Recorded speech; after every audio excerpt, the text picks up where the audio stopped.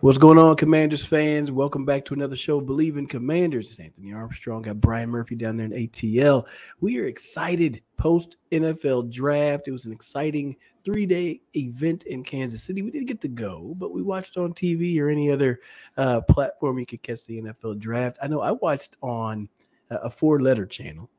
Um, watched Same. on a four letter channel. I didn't watch on like the uh, easy as one, two, three channel. So I, uh, for whatever reason, I associate the NFL draft with hearing like a Mel Kiper, Todd McShay, mm-hmm. those voices, uh, rather than who I don't know who was on uh, the ABC uh, network. But either way, uh, Brian Murphy, what's up, my man? How are you doing, sir? Yeah, I'm good. Uh, we were just talking before we got started here. You know, the draft goes right into rookie mini camps, which we'll talk about in a later episode, right into OTAs, right into mini camp right into preseason and the regular season. It'll be here before you know it. The NFL before draft is kind of like kicking off the new uh, season. So I'm feeling good, and it means football's right around the corner, uh, and summer's right around the corner too. So I'm excited.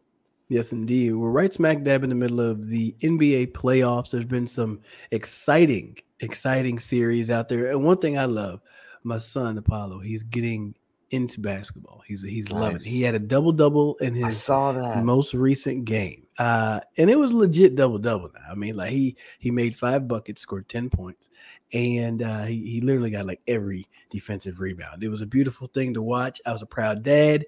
Um, and this morning he was watching the Sixers and the Celtics game nice. on recording. So dude's loving basketball. Basketball playoffs are here.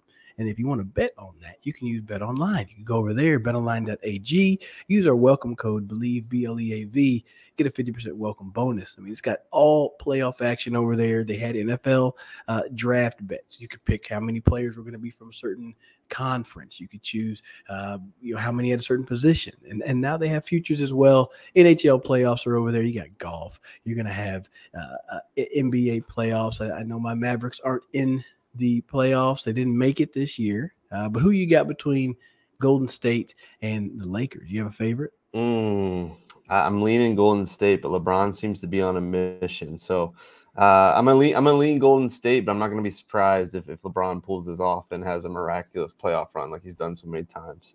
I tell you, the Lakers have found a way to turn it on just right here, right yeah. when it matters the most. I guess all of that um, uh, load management and and like I guess that was that was for this exact reason where you could show up in the playoffs. Um, but let's take a look back. Let's go and take a look at the NFL draft. What was your thoughts um, on just how the Commanders handled things in this draft? Obviously, this is a Commander show. Bleav in Commanders. What did you think? How would you grade those guys? Yeah, so I, I tweeted out that I think uh, draft grades are kind of silly. I don't know how you're supposed to judge uh, 250 players or so before they even set foot, not not just on the field, but even into their team's locker rooms. Like I get the projections and all that, so it feels to me kind of silly. But uh, what I will say is that I think the Commanders addressed a lot of needs, which I think we went in hoping they would. Um, I think there were some questionable picks, or at least the order that they did some things there. But um, you know, at the end of the day, if you would have told me that they came away with secondary help, with some offensive line help, with a running back and a couple of linebackers slash pass rushers, I would have told you that's that fills a lot of needs, and uh, it makes me feel good about what they're doing and what they're heading into rookie mini camp and, and then uh, the whole team mini camp with. So overall, I was pleased. Um, but when we dive into it a little bit, I think I've got some question marks there. But what about you? Well, my first thought, it, it was one that was probably what you would expect from a Ron Rivera draft. Um, you know, quality players at the positions of need, nothing too overly sexy, if you will, right? Just it wasn't like a big name. You're like, oh man, that was the guy we had circled uh, from day one. Uh, but I think everybody that was added, you can see where they fit in with this team and, and what they're expected to do. I mean, he's starting up front with Emmanuel Forbes. Uh, guy gets his hands on the football and he puts it in the end zone. That is something yeah. that this team needs. Uh, last year, uh, the Commanders were at the bottom, the bottom third of the less than that. They were like four from the worst. They're like 28th, I think, in turnovers on defense. So you you have a ball hawking corner as, at like Emmanuel Forbes. You expect him to come in and make an impact that way. Uh, getting Quan Martin out of Illinois, safety that you can move around in multiple pieces and, and places you can see that he has he's going to have versatility and find himself a spot on this football field as well. And obviously grabbing those couple of old linemen um, that was necessary. You know, other positions of need. They, they now they went in a different order than we thought. We thought they would go mm-hmm. one uh, offense, one defense, or vice versa. They went defense, defense, and then offense, offense uh, across the line. So, um, I mean, NFL.com, their first grade, I guess, I guess this maybe this is a, maybe it's average of their player rankings. They had Washington at a six point three six, uh, and Philly was the highest at seven point oh four, uh, for what it's worth. Um, and then when I saw the grades on NFL.com, Washington had a B. Um, had a B, and then you know, right back smack dab in the middle. And I bet that's about right. If you had to give it a grade, I know you think they're stupid. Um, the, the, one thing I had to I had to remind myself of uh, is the lists are in alphabetical order. And I'm yeah. like, why you got Washington at the bottom? Right, it starts right, with right. W. That's why. Yeah. It's nothing okay? personal. It's alphabetical. Yeah. Well, so speaking of grades, I have seen that most of them have been B, uh, you know, C pluses, which I think is right about right. I, I, don't think they really like hit a home run, um, but they addressed a lot of needs. So in, in like a in a vacuum, like if you they went in with with a shopping list and they came out with just about everything that they were were looking to find, and uh, so it's hard to be mad at that. I, I think, like you said, the order was a little odd. I, it was odd to me. Um, you know, I was I was out uh, getting dinner and I was kind of keeping up, uh, you know, with what they were going to do or what they were doing. And then when I saw a defensive back come down, I was so confused because I thought for sure that there were there were plenty of offensive linemen right around that that spot, guys that we had seen potentially projected in the first round, like a Torrence. um, um, is it O Torrence or is it O'Cyrus? O'Cyrus yeah. Torrence, yeah. Yeah. So like that guy, Cody Mauch, well, you know, the the North Dakota guy, North Dakota State guy with no teeth. Yeah. You know, those guys were maulers that that I thought potentially would go in the first round. And I thought they made a lot of sense there. But for whatever reason, they felt like they needed to double up and get Quan Martin, who is part of a, a Illinois secondary that has now has five guys in the NFL mm-hmm. draft over the last two um, draft. So you got to think that he's impressive, and you got to think that that was a priority for them.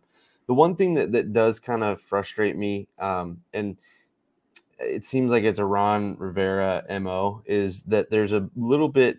It's like he's he insists on finding guys who play multiple positions. Even Quan Martin, you know, I, I swear when they first drafted him, it, it, came up as a safety, and now you're know you're seeing him more listed as more generic defensive back or cornerback. And then, you know, Ricky Stromberg, the center, played a little guard. Braeden Daniels is just listed as an offensive lineman because he's played yeah. guard, he's played tackle. Ron Rivera said he'll play, he'll start off at tackle. I kind of want a guy that slots in at a position and I know where he's going to play. I get that it's important to have versatility, especially on an offensive line, especially with, you know, how many injuries they've dealt with over the last few years. But instead of guys that can shift around a little bit and play good or okay to good at a couple positions, I would I wouldn't hate getting a guy that just is really good at one position. I don't know how you feel about that, or if that's changed since you played. Uh, you know, as a as a former player, I'm curious your thoughts. But that doesn't irk me. It just is is confusing sometimes to me. Well, you know, I've I've been on uh, quite a few teams, and there's always a guy who's on the roster because they can do multiple things. Sure. Um, and they find themselves onto the field one way or the other. I've, and I've on the flip side, I've seen you know receivers who swear that they're only an X or they are only a Z receiver, and that ends up being to their detriment. You know, it's like you know you could probably make the team if you knew just a couple more positions, just a couple more routes. I, I don't have a problem with versatility. I think that it it it leads you to have, be able to be flexible um, and have some creativity with what you're going to do across the line. I mean, you look at Nick Gates. The guy had was listed at playing almost all three interior positions: left guard, right guard, center. Um, Andrew Wylie, he can play both tackles, right? Um, predominantly right tackle, but either way, knowing that you can move people around, and, and, and frankly, that's what they did last year. with all the injuries, they had to find a way to you know, shuffle some things around, and and you know now they're just going to see who who can fit best in each uh, in each spot. But I will say this: they've done well over the past few drafts. Washington Commanders, the front office, the, the scouting GM, they've done a great job over the past few drafts of getting players of value in round three, four, five. You know, they're getting good players at, out of at those picks, uh, and I can't get mad. I mean, you look at the second round pick getting Quan Martin, and you you, you scratch your head because you're like, man, I thought it was going to be a lineman, but I have to I have to trust the fact that I think this guy's going to be able to show up and make a huge impact. I mean, in my head, yeah. I'm it's like that. Uh, it's like that meme with the dude from Hangover and all the calculations are going across his head because I'm thinking like, right. man, okay, you've got a Darrick Forrest who has a knack for the football. St-Juste has a knack for the football. Forbes is on one side. You got this guy Quan Martin who can move around, do a lot of things. Plus, you got Cam Curl who can move around and do a lot of things. Um, you know, maybe you don't have to have two linebackers on the field now. Hey, can you get it done with, you know, uh, three safeties and three DB? So if I'm Jack Del Rio, you got to really think of ways to mix and match to find the best possible combination uh, from what you're going to get out of these players. And I, I, think it's a good thing that you go with versatility. You're you're you're uh, you make a lot of sense. I just I guess when when I when I see a third round pick, I'm automatically assuming that's a guy that's at least going to contribute and at least may, maybe not start, but at least contribute. Like I, am fine with the Quan Martin pick. I think he's an athletic freak, and like I said, he's part of a defensive backfield that it just seems like all they did was lock people down and turn the ball over. So yeah. uh, I'm all about that. It's more the the offensive lineman just felt like not reaches, but it's like are either of them going to really have a role this year? And I know it's important to have depth, and I know it's important sure. to have that swing tackle, and you know they they started what four centers last year, so there's there's no telling whether Ricky Stromberg you know is not your center at some point during the season. It just feels like they're kind of projects, and and for my third and fourth rounders, I I'm expecting a guy, and not everybody's Terry McLaurin, but I'm expecting a guy that can come in and contribute right away. And I guess yeah. that was just a frustration, eh, or the the the one the one question mark. I hope these guys yeah. are maulers. I hope that they're solid on the offensive line. I just I I, I hope we're they're not just kind of tying themselves to a bunch of projects. Really. Yeah, I mean, I, I think they're going to be fine. I think they're going to be fine. I mean, if they were if they were the guys you wanted them to be, they would have been gone in the second round. They would have went True. second round. You know what I mean? And it's True. not a knock on not a knock on those guys at all. Not not a knock at all. It's just that's just the way it is. Um, they could you could get into camp and you could just things could just fall into somebody's you know uh, fall into somebody's lap if you will like if mm-hmm. the, the, the bricks may fall as they may that works perfectly for stromberg or daniels to get on the field they might be hella hellified players you know, I mean, I, yeah. I, I would love for Stromberg or, or, Daniels to be the Terry McLaurin of the offensive line. You know, this guy that you didn't think you were going to get anything out of, and next thing you know, he's anchoring down your offensive line. Like that's that's your best bet scenario. I mean, if you're if you're expecting a third or fourth rounder to come in and start out out the gate, that's that's probably shooting a little bit too high of expectations. Not not knocking the players. It's just that you mm-hmm. don't get picked in the third or fourth round and say, "Yep, this is our starter." You know, right. Well, so so we, we got kind of through round four there talking. The commanders move up in round five to take Clemson edge defender KJ Henry. I've heard nothing but good things about this guy as a person. Seems like he got after the quarterback a little bit at Clemson. Um, so I'm interested to hear your thoughts on him. But to round out the draft in the sixth round, they take Chris Rodriguez Jr., the running back out of Kentucky, Andre Jones, an edge defender who apparently was at Louisiana for six years. So he wow. played a lot of football and – so he comes in uh, pretty experienced. So the one thing we kind of talked about, you talked about linebackers and Quan Martin. Does that allow you to make some different looks? They didn't really address the traditional, you know, um, linebacker. I mean, I think I think KJ Henry and Andre Jones on the depth chart will show up as linebackers, but they're more edge guys. Mm-hmm. So that kind of tells me a lot, and and maybe doesn't tell me anything at all when it comes to the linebackers. I mean, they might just be happy with Jamin Davis and some guys behind him.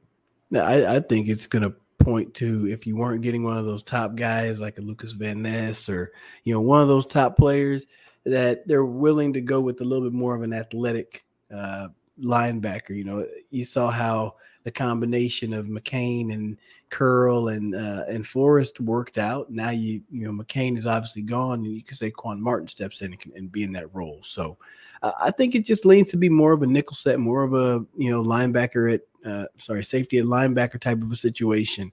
Let those guys get closer to the line of scrimmage. You can move around who's deep, who's short. That would be the play there. Um, along the edge, those two edge guys. Uh, especially you know Henry. It's it's this is a you know one one of the one of the two players that are currently on the roster probably aren't going to be here. Mm-hmm. That that's what it points to for me. They're they're just trying to have a little bit of an insurance. Um, you know, you got Montez Sweat's going to be up for a contract. You didn't didn't take Chase Young's fifth young fifth young fifth ra- uh, fifth year option. So, yeah, at the end of the season, you got to have to make a decision. And if you're going to let one of those guys go, it's better to have an incumbent in in the in house already, rather than having to try to hope that somebody makes it through. And and KJ Henry's dad is already uh, um, a winner in my book. He brought down the old uh, Redskins jersey with the the spear, the arrowhead. Yes, there. he did. So that was pretty awesome. So that that's that's that's huge. And Pops was yeah, ready for that moment. yeah, I've, I've got some friends and family at, at Clemson and and or, or, Clemson fans, and I know that fans are fans, but they they really love KJ Henry. They say he's a he's a great guy and it seems like he's just going to do whatever the coaches need him to do. So I'm excited about that. And you're right. You know, it's it was in the fifth round, but they traded up to get him, and that says something. I think they traded up. I want to say they, they moved up a, a healthy number of picks. It wasn't yeah. like two or three picks. It was, it like 20. It was like 20 yeah, picks. Yeah. So that that means something. I think you're right. I think that you know with with him and Andre Jones Jr. They're they're looking for guys that could potentially be that diamond in the rough, could be replacements, but also you look at it, Shaka Toney's going to be out indefinitely due to his gambling thing. As he mm-hmm. make his way back onto the team? William Bradley King, we've seen in spurts. James Smith Williams is a solid rotation guy. I just don't think you can have enough guys that can get after the quarterback, especially in today's league. So I like those picks a, a whole lot, and I think that both of those offer some good upside. And then I'm, I'm intrigued by Chris Rodriguez Jr. We thought maybe uh, could Bijan drop to them. Obviously, the Falcons made sure that didn't happen. But Rodriguez is a solid guy who's had, I think, a bunch of 100 yard games at, at Kentucky, runs hard. Um, I heard something that he had a DUI, I guess, about a year ago that kind of had people questioning his character and all that. But mm-hmm. it, is, he seems like a, a guy that could be a key contributor and could be a, a the the third uh, head of a three headed monster in the backfield. Yeah, they needed to add a thumper in that backfield, and you know I'm not mad at that selection. You know, being later on in the draft, you know, you get somebody that you you expect to get on the field, make a few plays here and there. Uh, you don't have to lean on them, but it's going to give you a physical presence presence in that backfield. You know, you don't have to try to hand it to Brian Robinson all the time and let him get beat up uh, you know, play in and play out. So now you can you know, spell in the rookie, spell in the young fella, and um, you know let him tote that note a little bit and take a little bit of reprieve off of AG. You know, so. Mm-hmm. You'd obviously be interested to see how things work out when the pads come on. You know, things change when when when the pads get on there, but um, I'm not mad at the pick of, of Rodriguez, and I, I, will say I'm, I'm surprised that they didn't draft a quarterback, uh, but they did sign a quarterback undrafted free agent. So um, they they address the position. I, and he's seen the the uh, rumors that the Commanders are are linked to Caleb Williams, and they're going to try to make a play uh, to get high enough in the draft to get Caleb Williams. And I don't know if I if I can take that because you're going to have to get at least to to suck that bad. You, you it's going to hurt to get all the way up there to, to get yeah. Caleb Williams. Yeah, I love that he's a Commanders fan. I love that that you know there's possible connection, but you're right. It's going to be either giving up a whole lot to get up there from wherever they're at in the draft, or it's going to mean that Sam Howell was an absolute crash and burn disaster, and that's going to make for a tough 2023. My hope is that they they make a playoff run, they come up just short, and they realize they need this all world you know quarterback, and that's what uh, preempts them to make the move. But yeah, so I don't know. I don't want to. I don't want to try to predict too much in the future. I want Sam Howell to be the guy and, and to run with that, and and and we'll see. But yeah, I thought it was interesting too. No quarterback taken. I know some mocks had them taking Hendon Hooker even in the first round, which was kind of silly. Um, and and um, yeah, so I'm yeah, I agree with you. No, me too, me too. Uh, but yeah, so they they added Tim DeMorat from uh, where did he go from Fordham and then uh, Chase Brice uh, is got an invite. Like I, I didn't know it worked this way, but you can like accept invites to different mini camps yeah. without signing deals. So that was a that was something I learned over the weekend. Yeah, I mean, shoot, if the dates align, you can go and work out for a couple of teams. You know, you get invited to a mini camp. It happens after the draft, and we'll jump more into this in another episode. But Yeah, you you can do that. There's there's there is a thing to where if you get into like the seventh round, you're almost better off to go undrafted free agent. Right, I've reason, heard that. The reason is because you get to choose your team. Now, if you, you know, we'll use a basketball analogy. If you hop out and you're a free agent and the, you know, the Golden State Warriors are here knocking on your door or the Houston Rockets, a team that's at the bottom of the barrel right yeah. now, you're like, hmm, which camp would I rather go to? Now, yeah, sure, you might be able to make the roster better um, in Houston, but hey, you know, Golden State, if I can make the roster over here, I got a chance to get in the ring. So being an being an undrafted free agent isn't necessarily a bad thing.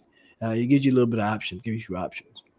Yeah, so they signed a bunch of undrafted free agents, and, and like you said, we'll get into rookie mini camp. So I think there are some intriguing names there that maybe we can talk about during that rookie mini camp episode. I saw a guy from UCLA that can absolutely fly, but it's exciting to see these guys getting the chance and getting the chance to put on an NFL uniform and um, at that point, you know, uh, you kind of know the jersey numbers of the of the drafted guys, but at that point, everybody's a rookie, and you, you got a chance to to show out. And uh, I want to hear you talk about that more. But okay, as much as I hate NFL draft grades, I want to end on this. If you had to, if you had to sum up the seven rounds, the seven picks of the Commanders over this past weekend with one word, what would that word be? And I can go first to give you a you second. Go first. You go first. You go first. I think my my draft grade is weird, and I I don't I don't mean that negatively. I think being weird can be good. I think it can mean creative and that kind of thing. I just mean weird. I, I think it started with you know not going after Christian Gonzalez. We talked a little bit about that. He kind of seemed like the consensus you know next best corner after Witherspoon. Going with Forbes felt a little weird. I've grown to like the guy. I love what I see from him and then following it up with another defensive back, kind of like we saw, following it up with two project linemen, linemen, um, and and you know not getting a tight end or not getting a quarterback. It was just weird, and, and yeah. I don't mean that as a negative thing. It just wasn't what I would have done. So maybe not weird, but unconventional is kind of my definition of weird in this. So uh, that's what I got for the seven picks in the seven rounds. My word to describe the Commanders draft would be solid it's solid. I, I think you've addressed the needs that you knew you had coming into the the draft. You didn't get uh, coerced or uh, drawn in with the with the urge to trade up. I think that that was big. It's probably something that a lot of people.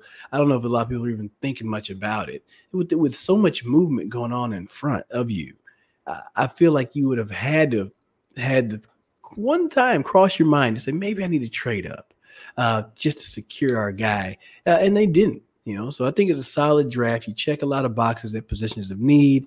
Uh, you get a little bit of depth, and now you're going to get guys to get out there and, and showcase what they can do. So I think it was a solid draft. I had to put a number on it. It's like 87.5 or something like that. You know, you did a good job. I'm not mad at you. There's a, you know areas of improvement, and I'm sure we'll see. You know, Emmanuel Forbes, his performance later on in the season will make people uh, feel confident that they made the right decision. Yeah, yeah, I'm excited to see it. I, I can't say it's bad or or awful or good or great. It's just got they got to go out there and they got to display it, and I think that they will. So uh, exciting stuff. Seven new members drafted to the Commanders. All those un- undrafted free agents as well, and we'll see them all in action. Can't wait to see what they do um, and uh, see see what's next for them. So uh, if you want to put some money down Commanders and and you're interested in what they did and that's enough to sway you, you can always look at some futures on Bet Online and use our code BLEAV for a 50% welcome bonus. I even saw that speaking of Caleb Williams, he is the odds-on favorite on Bet Online to be the first overall draft pick. Him and Drake Maye are up there, Marvin Harrison Jr. So wow. if you want to be crazy and go make a, a, prediction a year in the future, you can do that at betonline.ag if you're crazy hey, enough. hey, well, I'll tell you what, I've I've seen Marvin Harrison Jr. up close and in person, worked with him um, before he went to Ohio State. Kid can okay. play. Yeah. Kid can play. Um, so Some, anywho. Someone said it was like seeing next year's car model just sitting in the garage while you're shopping for for one this year. So you're I like, am very is, intrigued what, by that guy. You're like, what is that one? You're like, oh, that's that's not. That's yeah, you can't see like, that yet can I wait? Yeah, I'll walk until then. Oh man, make sure y'all check us out on social media too. We're on Twitter. That's where we're talking football. We're on Instagram as well, and we got a little TikTok going as well. I I didn't followed our TikTok. Let's we got go. like seven, seven, like one of them got like 700 views. I was very impressed with our TikTok presence. So um, check us out over there on TikTok. No dancing, just straight action. We're getting right to it. And you can also tune in on all your favorite uh, streaming platforms as well. SiriusXM Studio, uh, Watch Stadium, uh, and Bleav TV is out there. Bleav Football. Check that out as well. All right. Well, we're going to continue. And if you haven't uh, checked out Bet Online, head to betonline.ag. Use our code BELIEVE, B L E A V, for a 50% welcome bonus. Uh, we're talking NFL draft and, and our draft reaction. And you can already make picks on next year's draft. You can see how odds have changed with new players on all the NFL teams, what their chances are to win the division, win the conference, win the mm. Super Bowl. You can check all of that out at betonline.ag. Again, our code is B L E A V. So, in our last episode, we talked specifically about the Commanders. We are believing in Commanders. Um, you can you can check out what we we talked about there with what we thought about the Commanders. We each gave them a word to describe and grade their draft. Now, just kind of going generic with the NFL draft reaction uh, Anthony, it was a lot of fun. I, I, know you watched into the weekend, and it wasn't just a one night thing for you, just like it wasn't for me. Um, we watched all the all the the rounds. I probably watched way too much. My family's probably getting annoyed. But what what are some of your overall prevailing thoughts of the NFL draft over those uh, three days? It felt like it was a really good draft overall, just from everybody. All teams seemed to do. Uh, what what was right for the time. You know, the one pick that had me scratching my head was early on when you see Jahmyr Gibbs go uh, early to Detroit. That was the one that kind of was like, eh, what you know. But outside of that, I think teams picked well within their needs. They picked players that were. Uh, like Philly hit the jackpot a couple of times, uh, unfortunately, yeah. but teams did a good job. I, I, think it was delivered well. I, I think that the uh, presentation was good. Um, and that first round was really really exciting. I i was on the edge of my seat for that that very first night uh, just watching the way teams were maneuvering. I really loved what DeMeco ryans did uh, over there in houston just trading back up for will anderson. Uh, and i think that sets the tone. That sets the tone for the afc south. It really does. He's an aggressive coach. He's an aggressive defense and he's going to make an aggressive play to go get his defensive leader in will anderson so just watch out jaguars watch out afc south because the Texans are coming. Yeah, I thought there were some interesting picks all around. You mentioned Jahmyr Gibbs, the running back, Bijan Robinson going in the top 10, and in the fall of some quarterbacks. We saw in some mock drafts, and I even got suckered in. I thought uh, five quarterbacks would go in the first round, but other than the big three in the top four picks, uh, another quarterback didn't go until the second round, and Will Levis, and then Hendon Hooker didn't even go until the third round. So I thought the quarterbacks' uh, choices and and and things were were interesting. You mentioned the AFC South. Could Will Levis compete with an aging Ryan Tannehill for a job in at Tennessee? Uh, Hendon Hooker behind Jared Goff in Detroit. So I thought there were some interesting placements, but yeah, for me the dominating thought was, man, those freaking Philadelphia Eagles. We talked about. I had a bad feeling that they were going to get a, a, running back, and I was right. I, we just didn't mention the guy that they ended up getting, D'Andre Swift, was a was a hmm. huge uh, draft trade. What was that? The second day of yeah. the draft, they go and get him for a fourth round pick, and the Eagles just continued to attack success. It would have been easy for them to kind of sit back um, and make those picks, which were already you know feel like home runs. But on top of that, they they went and addressed other places where they they had already signed a Rashad Penny and they they'd already they already had Boston Scott in their backfield, but they went and got even better with D'Andre Swift. Um, I felt like the Eagles, among a couple other teams, just really, as you mentioned with the, the Texans, attack success, and it's um, yeah, I mean they're the real deal, and they're going for it, yeah. and they they feel like just getting to the Super Bowl is not enough. They they want to get over that hump, and that is scary to see as a a team uh, in the same division as them. It, it really is. I mean, overall, I think the division did well. You know, I think the division did pretty well. They addressed a few spots. I, if I if I had to pick who who got better the most, I would think Philly did. Uh, just on on paper, just by their first round, some of the players that they got, and you got to you have to include that trade. I think that they got they probably improved the best. Um, you know, Washington, though, I think Washington was probably second on that list of how they got better, um, simply because of the DB help. Uh, you know, with with uh, Forbes and with Martin, those two guys coming in, fill in some cu- couple of spots on defense that are uh, pressing needs, and you know, filling in with those O linemen. Uh, that that that helps check a couple of boxes as well. But I think Washington is second in, in the division how they got how they've improved uh, just from this draft alone. Um, kind of like what the Giants did. You know, they went and got Jalin Hyatt, got Deonte Banks from Maryland. Um, mm-hmm. So you know, there's going to be a couple of uh, there's going to there's going there's going to be some some some battles out there this year. The NFC East is going to be another exciting year, but I think overall Philly led the way. Washington was second, and who improved the most, and then uh, the Giants rolled rolled in in third. Yeah, the Cowboys kind of felt like they were all over the place. I think they really got. Uh, I feel like a couple guys went probably right before they were trying to pick. It's what it mm. kind of seemed like. Um, I will say they they had the the moment of the draft for me when uh, Deuce Vaughn's dad got to call him and tell him, ask him if he wants to go to work with him. Yeah. As much as I can't stand the Cowboys, man, that tugged tugged at my heart. That was so cool. Uh, yeah, just one man. of the many cool moments to see from the draft. That just thinks it was the Cowboys, but man, what an incredible moment!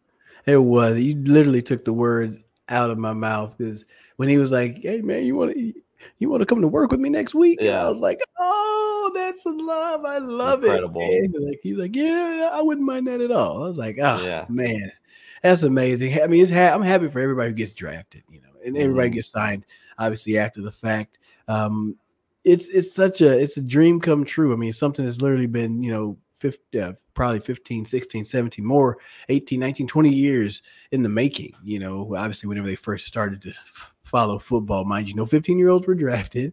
Um, yeah. but just all that culmination of the hard work, the off seasons, the driving the practices, the lacing up shoes. Oh, you forgot your cleats. I'll go get your you. All of that stuff has come to this moment uh, to get drafted in the NFL, and um, I'm, I'm happy for those guys. I'm excited for it. Yeah, for me, it's fun. Like, obviously, you kind of think you're going to hit with your first round, or You kind of feel like, and it's not the case, but it feels like they're the given. But it's fun to look back, you know, after a couple of years and see where some of these studs ended up going in like the fourth, fifth, sixth round.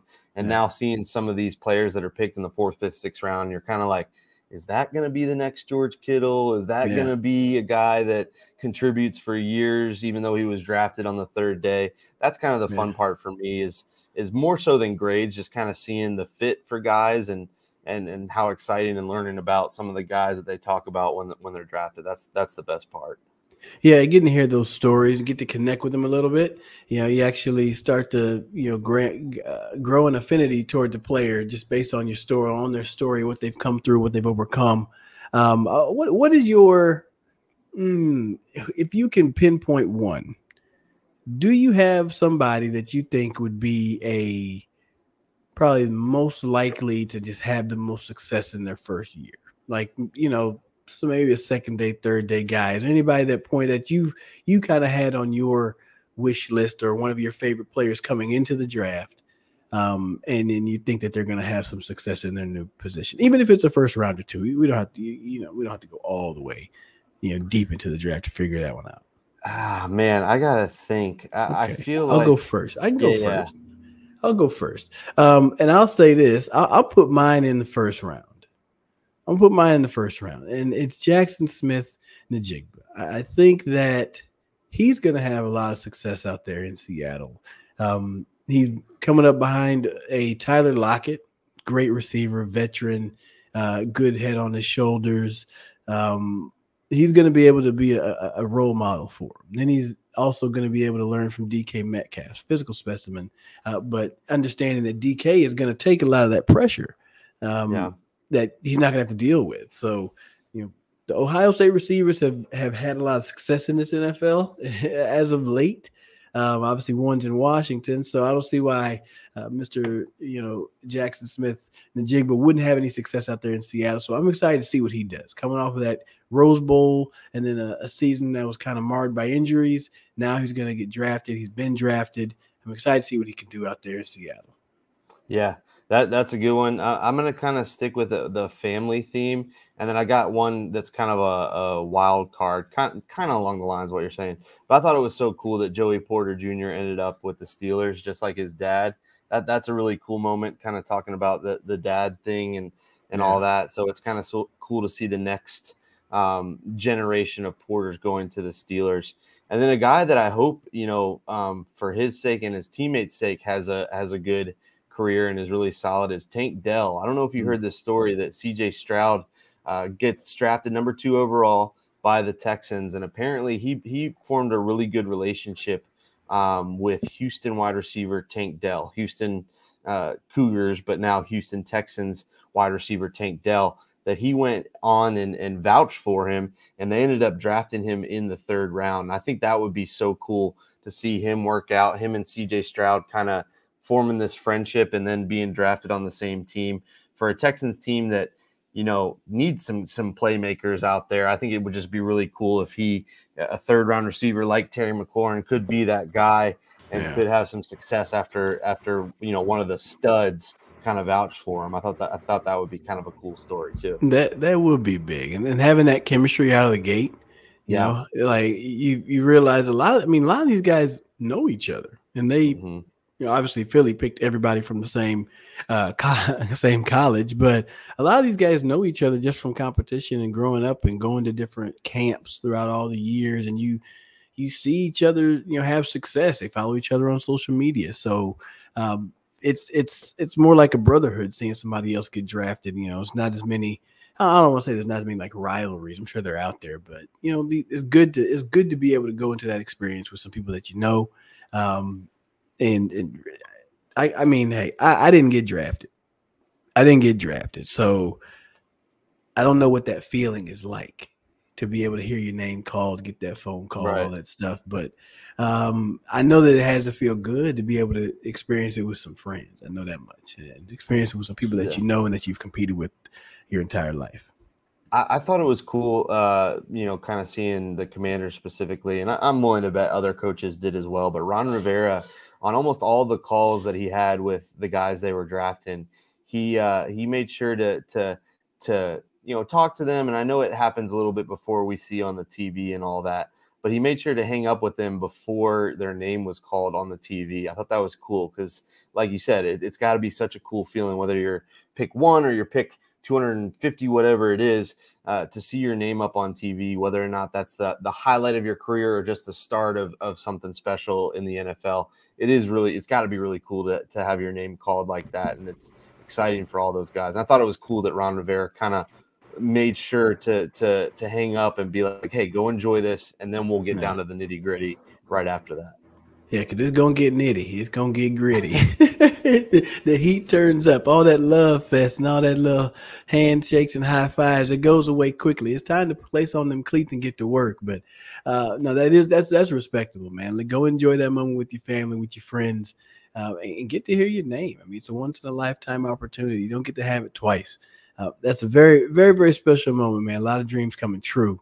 Uh, just just over this past weekend. I'm well, excited. So let me ask you. Um, we talked about the the Texans, the Eagles um, specifically. Uh, I think there was a. Uh, I think there were a couple of uh, not as big names as as D'Andre Swift traded. I think Adam Trautman went from New Orleans to Denver, so we saw we didn't see as many player trades as we thought would happen, but we did see some teams be very aggressive. Whether it be Houston moving up from 12 to three to pick twice in the top three, uh, whether it be Philadelphia and their moves. Um, I heard a quote that Martin Mayhew for the Commanders, and, and I want to kind of tie the Commanders into this league wide discussion.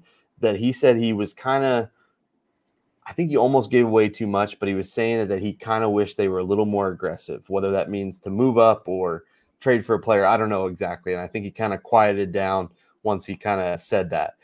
What hmm. are your thoughts about the Commanders not you know moving up not not not to move up just for moving up sake but when you see teams like the texans like the eagles like some of these other teams kind of attacking success does that worry you uh, for the commanders or is that just a, another strategy or a different way of doing things you know i don't think it worries me at all that they weren't you know quote unquote aggressive. They weren't trying to go out there and I don't know, jump into the top 10. You know, who knows what they were going to do if they would have made some of those, you know, decisions if they done if they had done that. I mean, hell, you had Christian Gonzalez fall right to 16 and then you went another direction. It's not a problem at all. Um, I, I feel like being that aggressive, number one, that isn't that probably isn't Ron Rivera's mo. Even though his Riverboat. Ron, and you know, hell, I think coming off of last year, they they rolled the dice and, and made a risk to go and, and acquire Carson Wentz, and that didn't work sure. out well. Um, and when you look at ownership changes, and is this your last season? Are you going to get to coach the people that you know? Like at that point, maybe it's like, hey, I don't need to necessarily be aggressive and jump up there. I, I'm I like I wouldn't have wanted to be aggressive and and end up having let's say they, they jump up and grab a quarterback and said quarterback you know isn't the guy but then you also didn't get to fill in these other positions like you're going to have with Quan Martin and with some of these offensive linemen. You know what I mean? I think yeah. you lose that draft capital. And I'm I'm just willing to be patient because I've been saying it and pounding the table for a year or two almost a, almost two years that this team is wasn't one player away, and they're yeah. so so so so close right now. Like Sam Howell, if he comes and lights it up, boom, you you can call it lightning in a bottle. Because I think you're going to have a lot of the other pieces put together. If that defense gets back to that 2020 form, that you're going to have some things to really really work with. So them not being over uh, aggressive, I mean, it's, it's it's tough to talk about if you don't know what they're what they were going to go up and get. Right. You know, I mean, seeing those linebackers go like Luke and Lukas Van Ness, didn't expect him to go at 12. Mm-hmm. You know, so like I feel some of if, if you weren't aggressive to jump into 10 up to up in the top 10, get ahead of Philly and you know try to get a Jalen Carter for whatever reason.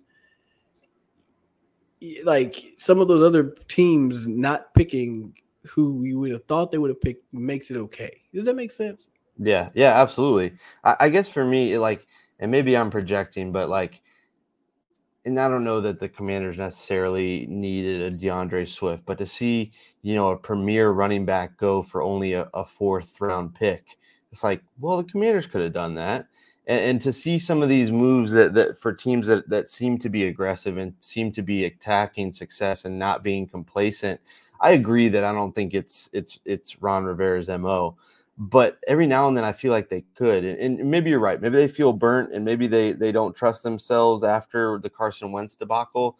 Uh, but I, I, I kind of tweeted this out. I was like, I'm going to be so frustrated if and when Devin White is traded to uh, the Eagles or you know the Seahawks for a, a middle round pick when the Commanders obviously could use some linebacker help. They really, in my opinion, only have one starting caliber linebacker on their roster. It's just that kind of thing. And maybe I'm projecting some negativity there, but yeah. it does feel like some teams are trying actively and more maybe aggressively to, to get better where the commanders are kind of letting it come to them and i yeah. wonder if they need to switch that up a little bit and i'm not saying just yeah. to move around the draft board or trade players yeah. because you want to take a risk on people but i think that there is some validity to that and we just saw the eagles go to the super bowl and instead of you know sitting back and letting the draft come to them they move up they move around and they you know, way better so it, you know I, I maybe i'm just being jealous of what other people have no, you're not. You're not wrong.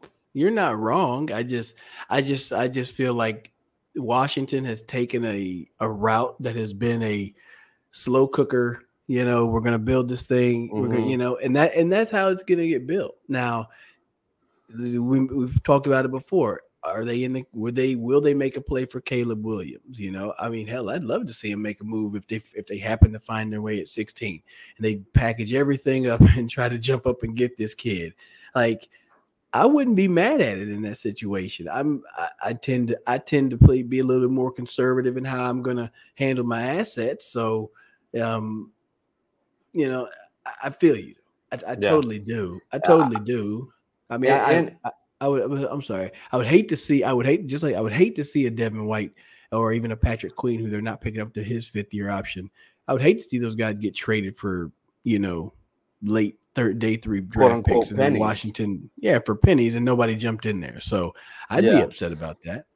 It, it just also on a separate note, and, and who knows for sure what the future holds. Maybe maybe Josh Harris comes in and loves Ron Rivera, loves the the the trajectory of the team. But this has felt um, you know, I see the Eagles uh, attacking success. I see the Texans attacking success. You know, we saw, uh, you know, the, the Seahawks had a had a diamond in the rough in Tariq Woolen at, at mm-hmm. corner, and what do they do? Their first pick is another corner. You know, I, I see these teams that kind of just seem to to building, um, uh, building, you know, on some of their strengths, and I just thought this was not not an underwhelming, but not a like overly glamorous draft for for a regime yeah. that could be fighting for their jobs. And maybe that's where I'm coming from, and maybe I'm putting too much into that. But it just felt yeah. not as uh, not as flashy, and not that flashy is always the right way. It just felt a little odd the way it, it worked out for the Commanders, especially when some other teams were making moves. I guess that's my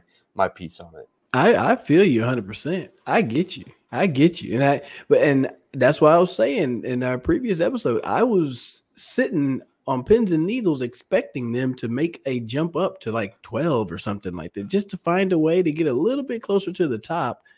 Just because there were some joss, there was some jostling going on. I mean, immediately Houston, Houston had to be on the phone with Arizona while they were on the phone with CJ Stroud. You know what I mean? They're like, "Hey man, call Arizona on your other on the other phone and let them know we want to move up to to to three.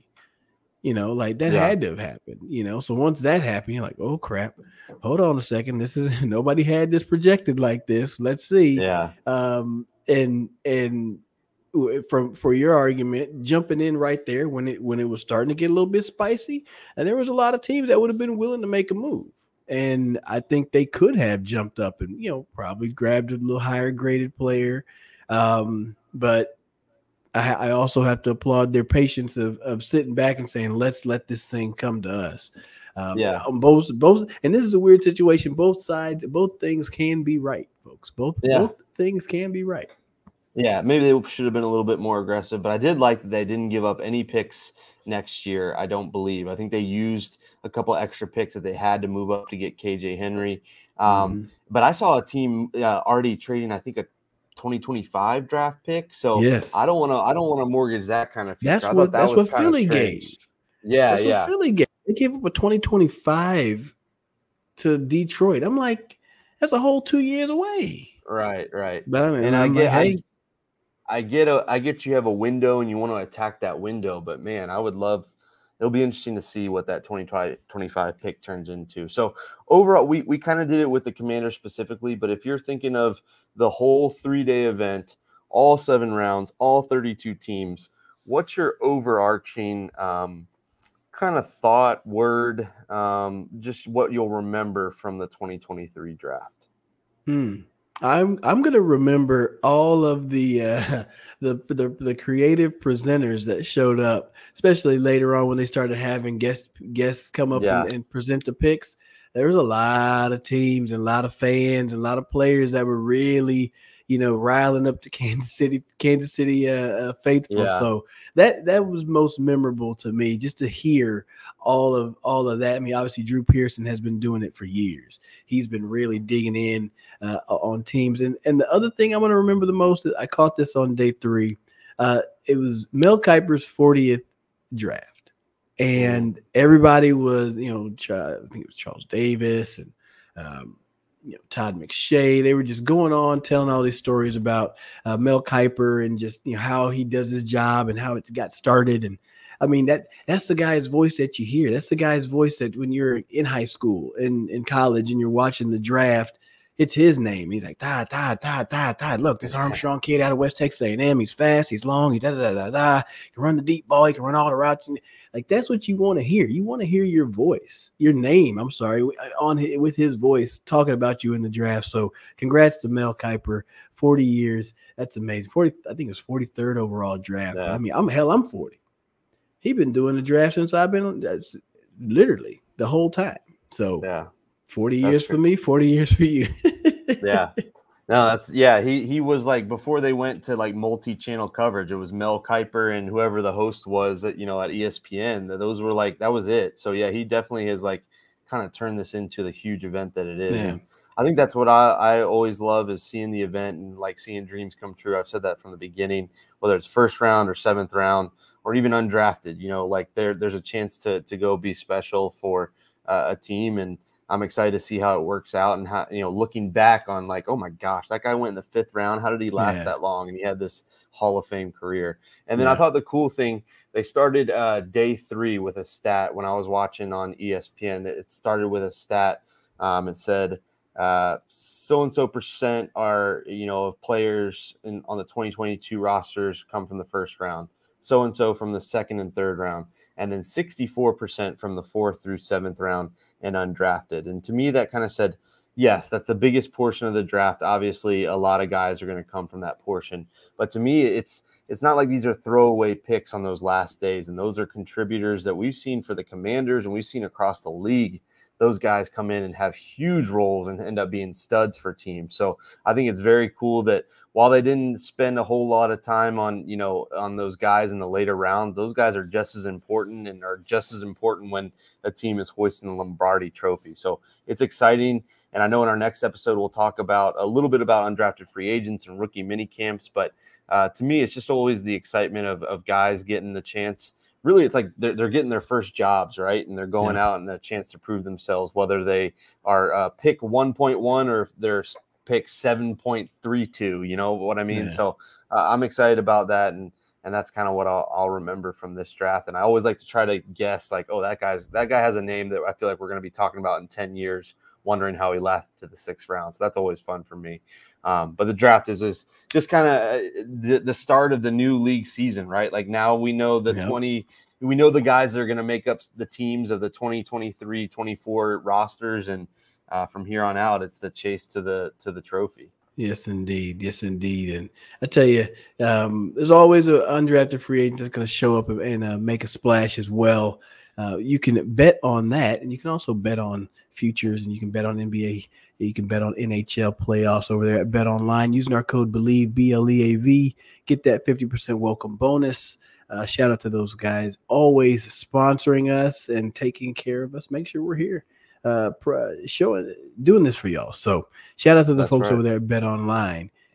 But now hit this thing up. We're talking about what are rookie mini camps like. That's what's coming up next uh, for these newly drafted rookies, and and um, the the the start dates are a little bit different if you have a new head coach or not. Um, mm-hmm. If you mm-hmm. have a new head coach, and they can start a little bit earlier. You get to get in a little bit earlier, so you can get acclimated and try to teach a whole new system, so on and so forth. But uh, rookie mini camps, those these happen directly after the draft. Um, you know, sometime basically the few days after few days after the last day of the draft, uh, maybe early even that next that next week, uh, and that's where your first time to get all your rookies uh, into the building. You're able to get any undrafted free agents into the building. You're able to bring in, frankly, there's some there are going to be some veterans there as well. Um, like, like, hell, I could get invited to a rookie mini camp if if somebody yeah. wanted to give me a workout. I happened in Cleveland. Like I went, to, I was there. Justin Gilbert was, uh, Justin Gilbert, Justin, uh, Johnny Manziel. Like I was there with those two kids. So you're going to see a lot of faces, a lot of names. You know, people that are they didn't hear their name called during the draft. They're going into rookie mini camp. So first time to see these guys on the field. First time they get to deal with NFL coaching um, it's it's an exciting time. Have you ever have you followed many rookie mini camps? Um, I tend to just kind of, to, to be honest, before diving really into the NFL, I kind of just would tune in and kind of try to get uh, reports on how the draft picks were doing. You know, how mm-hmm. does he look out there? You know, what is what does that guy look like once he finally put the pads on?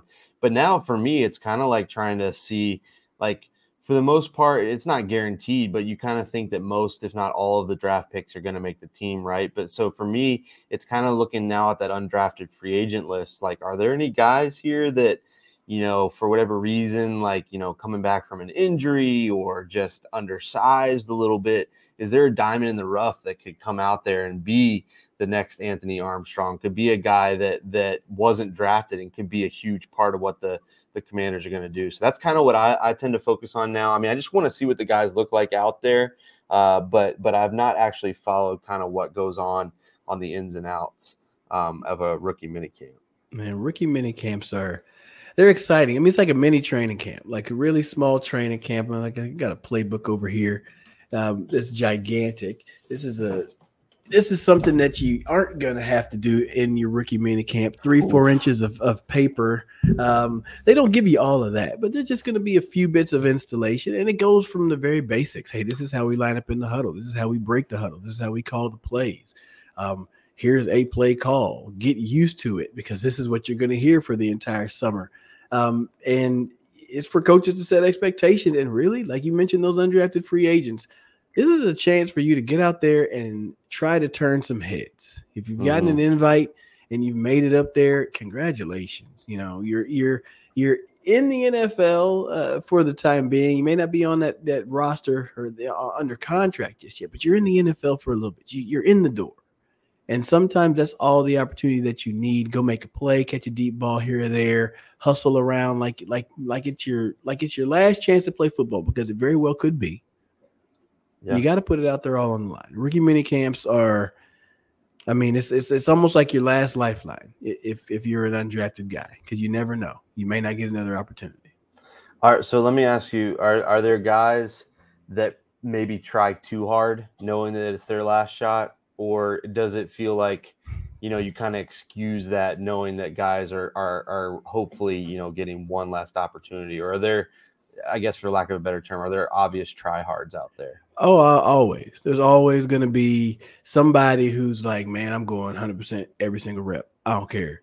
Um, and whereas you may think that that's a good thing, if the coaches distinctly said this is a half speed drill, this is a walkthrough, um, you're probably better off going a little going slow and following what the coaches tell you to do. Follow that tempo, follow that speed. Uh, but yeah, I, I, used to always look at down the line and be like, oh, there goes so okay, yeah, go so and so. Hey, switch with me. Um, and it's not like you were scared of. It's just like I, I don't I don't feel like having to have a full speed collision right now. It's just a walk. Right. You know what I mean? Right. Um, because so because frankly, there are some times where there'll be a guy that they, they're going faster than what's prescribed, and they make you look bad. Mm-hmm. And then you know now we now now we got a little jostling that we got to do. We gotta we gotta handle this. So um, ain't gonna fight, but I'm gonna get I'm gonna get you back later on because you're making me look bad. So those things do happen out there. They really do. Um, tryhards are always gonna be around. I well, mean, you love the effort though. Love the effort. Yeah, absolutely. So well, we know that the draft picks Forbes, Martin, Stromberg, Daniels, Henry, Rodriguez Jr., and Andre Jones Jr. for the um, for the Commanders, but they they draft they uh, signed uh, some undrafted free agents. So I was going to go over this list real quick, and then I think they kind of gave us a hint as to when they're going to have their rookie mini camp. So they signed wide receiver Kazmeir Allen, wide receiver Zion Bowens, offensive lineman Mason Brooks, quarterback Tim DeMorat, safety Xavier Henderson, Joshua Pryors, a defensive end, wide receiver Jalen Sample, safety Kendall Smith, cornerback DJ Sturgis, wide receiver Mitchell Tinsley, wore number five at Penn State and is a wide receiver, just like Jahan Dotson from last year. So could okay. they get two number fives from Penn State? Uh, Brycen Tremayne is a wide receiver and cornerback Nick Whiteside. So all those guys have a chance to prove themselves as undrafted free agents, similar to to you, Anthony. And then I noticed on Commanders.com where I'm reading this list that the players will not officially sign with the team until they pass their physicals on May 11th, which hmm. makes me think that the Commanders will fall in that second window of of those available dates. I think it's May uh like 12th 15th or something like yeah, that. I'm I'm assuming they you wouldn't you wouldn't want to go to a rookie mini camp without your undrafted free agents, but maybe I'm no. wrong. Yeah. No, no. No, you got to have uh, some decent numbers. So, quick story time. My first my draft was in 2008. Obviously, I went undrafted. Uh, I got an invite to a rookie mini camp from the Atlanta Falcons. And oh, go I don't think I knew that. I don't yeah. think I knew that. You didn't okay. know that? Yeah, I don't I was think in your so. backyard, man. Oh, you was wow. in like elementary back we in those days. Yeah, I probably drove by on the way. So the Falcons probably at that point had moved, but Flowery there was a Branch. Okay, yeah, they moved up to Flowery, Flowery Branch, but near my house there used to be a McDonald's where you could sit at the McDonald's and watch uh, Falcons practices. They had a little oh, facility, wow. I think, before they really, you know, de- invested into it. So yeah. it was that is a pointless story. But anyway, I did not know that the Falcons, Flowery yeah. Branch, yep, right up yeah. the road from us. I was down there and I failed my physical. Mm. I failed my physical. So I, had, I, feel like you don't ever hear about the failed physicals. You just kind of hear, you know, every now and then you do, but you you hear like a physical is just like an an automatic check mark, but obviously Yeah. that's not the case. Yeah, I mean, I had I had I had a uh, I had just gotten out of a cast from surgery. I had fused a bone in my wrist. I got injured my senior year of college. Played the last month with the, with a broken wrist and torn ligament, and had surgery and had j- literally just gotten out. Probably maybe like two weeks prior to going down to this mini camp, and they failed me bec- because of that. They're like, "Yeah, you can't. You you're not cleared for football right now." And so they sent me all the way back to West Texas, and that started me having to go play flag football to then get to go to Odessa and then work that journey. Um, so yeah, the rookie mini camps, that opportunity was there for me, and then I failed that physical and I got sent back home. Um, but I do have a couple of friends and teammates who did, you know, they may have never made it back into the NFL. They had a rookie mini camp and that was it. The only thing they got was just some shorts and a t-shirt and some memories. Um, and you know, I, I turned it into something. Not saying that they didn't, but you know, I I decided I was like, nah, I need to get back to this league. So yeah, I started down there in ATL. Started down there in Atlanta. Did not know that. So obviously it doesn't work out in Atlanta. I think you kind of told this story before on the podcast, but hey, we, we're getting new listeners hopefully. So That is what true. what did the the journey look like from there? Um, moving on past, I guess your technically rookie season in 2008. Well, you know, I guess I wasn't technically a rookie. I wasn't on any rosters, but following that that year, the rest of 08, I was back in school, finishing you know, my degree. Uh, started working out, you know, more, and uh, I was in a little bit of a funk. I can't lie, I was a little little down in the dumps, but I started working out a little more. Ended up going to Vegas to play in a flag football tournament with some friends. I took a punt to the house and had some some good plays, and I was like, man, I can do this football thing still. I'm gonna give it a try. And I had started doing some job interviews for an insurance companies, and I turned that stuff down. And I decided to go play in Odessa uh, for the Roughnecks in the Intense Football League. Packed up my little Acura Integra and Nice. drove drove down I twenty seven to uh, Odessa, and and just we just figured it out from there. I told myself every year you got to graduate, you got to move up a league. You're not staying two years in the same place, and that's pretty much what I did. I moved up from Odessa, uh, skipped a week to go to a tryout and uh, it was in here in the Dallas area. I ran my first four two, ran like a four two six, a couple of them. Um, so got some heads turning from some arena teams. Ended up eventually signing with the Dallas Desperados. They were the of the Arena League, um, and they were owned by Jerry Jones. Wow, and I, did not, I didn't know that. That's cool. Yeah. So I I've it's since 06 and 07 I was with the Desperados. And so I'm I'm we would literally work out at Texas Stadium.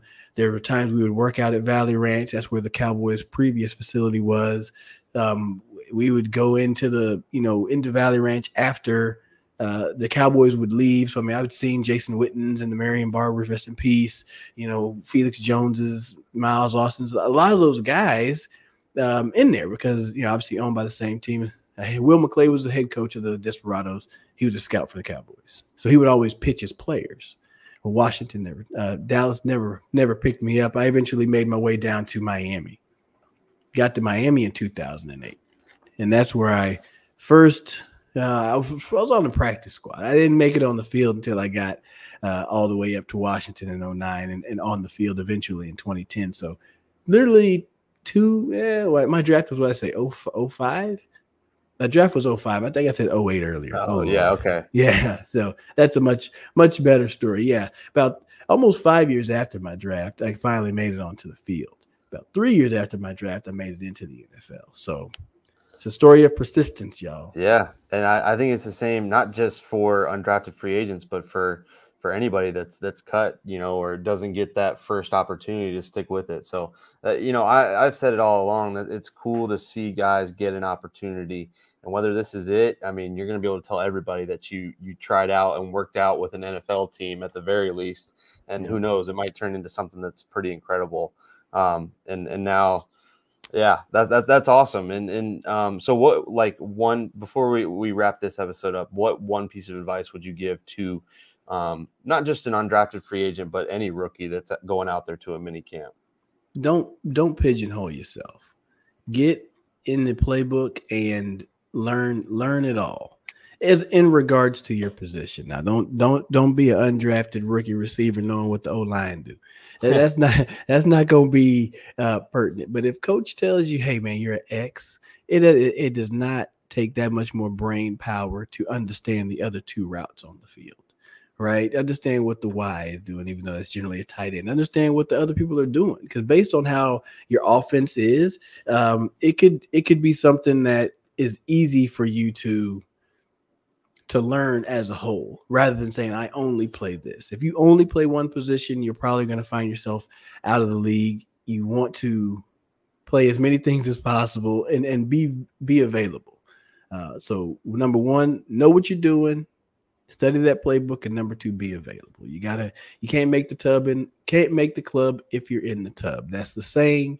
So stay healthy, take care of your body, and and pay attention to that playbook. Love it. That's a, and that's a guy who's done it before. So uh, take that advice, and it'll be it'll be fun to see which of these guys stand out, not just for the Commanders, but across the league, and really run with this opportunity and, and take hold of it and make something happen. So we'll definitely be breaking down rookie mini camps, any highlights from that, and then as the team ramps up and OTAs and all that good stuff. Like we say, this this this league never sleeps, and it's just ramping up now from the draft on, and it, it won't be too long before we're talking about actual football games. It's right around the corner.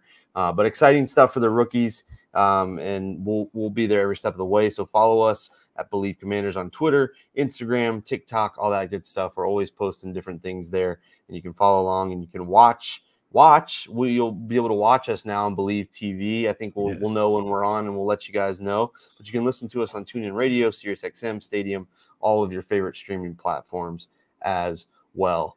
And then if you if you want to bet on uh, a player or a team like the Commanders, you can head to Bet Online and, and put in our code BLEAV for a 50% welcome bonus. So check those guys out and go put some money down on on a player or two or a, a game or two or even something uh, else that you can check out there. Yes, indeed. You got all the options out there. Thanks to those folks over there at Bet Online. Thanks to Brian. It's been fun, sir. Been yeah. been fun. Love working with you uh, on this. And uh, once again, shout out to all those rookies out there. Shout out to all those um, undrafted players getting in there, getting an opportunity. Hey, you're not you're not too small for the moment, baby. You can step up, you can make a play, you can turn some heads. This may be the opportunity that you need. Now you just got to make make a make a play and take advantage of it. You're so, inspiring me. I'm going to get out of here and go run through a wall. Love it. Yes, indeed. run through the wall. Yes, indeed, folks. Hey, we can go get this thing done. We're going to reach the top. We always get better. Uh, you can definitely do that. But for Brian Murphy, I'm Anthony Armstrong. This is Bleav in Commanders. We'll see you guys in the next one. Be good.